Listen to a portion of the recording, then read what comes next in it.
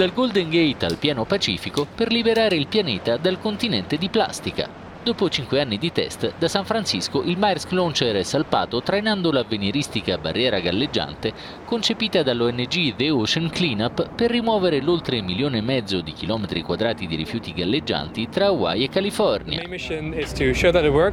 La nostra principale missione consiste al momento nel provare che il dispositivo funziona. Se tutto va bene, tra qualche mese riporteremo indietro i primi rifiuti e se la tecnologia funziona ripeteremo l'esperienza con una sessantina di queste barriere galleggianti avanti. La speranza è di rimuovere la metà del continente di plastica entro cinque anni. Dopo due ultime settimane di test a largo, la barriera galleggiante entrerà in azione. Lunga 600 metri e dotata di una rete che scende fino a 3 metri di profondità, opererà come quella che la stessa The Ocean Cleanup definisce una sorta di Pac-Man gigante. Si mangerà cioè tutti i rifiuti che troverà sulla sua strada per riportarli a terra e poi permettere un riciclaggio con cui i promotori del progetto sperano di finanziare il seguito dell'avventura.